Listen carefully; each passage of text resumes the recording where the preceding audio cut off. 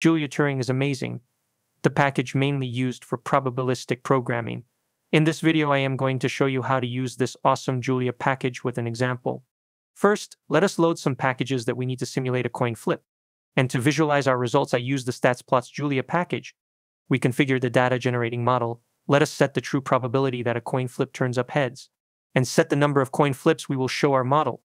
We simulate n coin flips by drawing n random samples from the Bernoulli distribution with success probability p true. The draws are collected in a variable called data. We can investigate the first five coin flips in the data vector.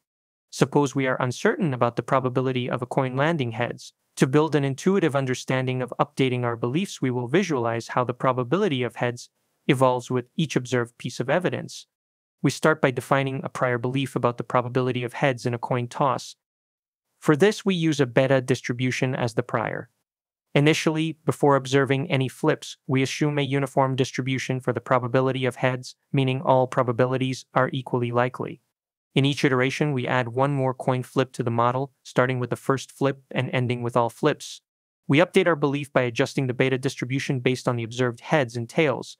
This is straightforward because the beta distribution is a conjugate prior. Note that a closed form posterior, as implemented in updated underscore belief, is rare for more complex models. The animation shows how our belief about the probability of heads gradually adjusts toward the true value as more evidence is observed. The orange line represents the true probability of heads, while the distribution's mode reflects the model's belief based on the observed evidence.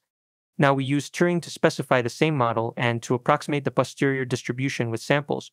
To do so, we first need to load Turing. We also load MCMC chains, a library for analyzing and visualizing samples used to approximate the posterior distribution. First, we define the coin flip model using Turing. In the Turing model, the prior for P, probability of heads, and the distribution of observations Y are defined on the right-hand side of the tilde expressions. The at model macro transforms the body of the Julia function coin flip, replacing the tilde statements with internal function calls for sampling. Here we defined a model that is not conditioned on any specific observations, as this allows us to easily obtain samples of both P and Y. After defining the model, we approximate the posterior distribution by drawing samples using a Hamiltonian Monte Carlo sampler. Once sampling is complete, we can visually compare the closed form posterior with the approximation obtained using Turing.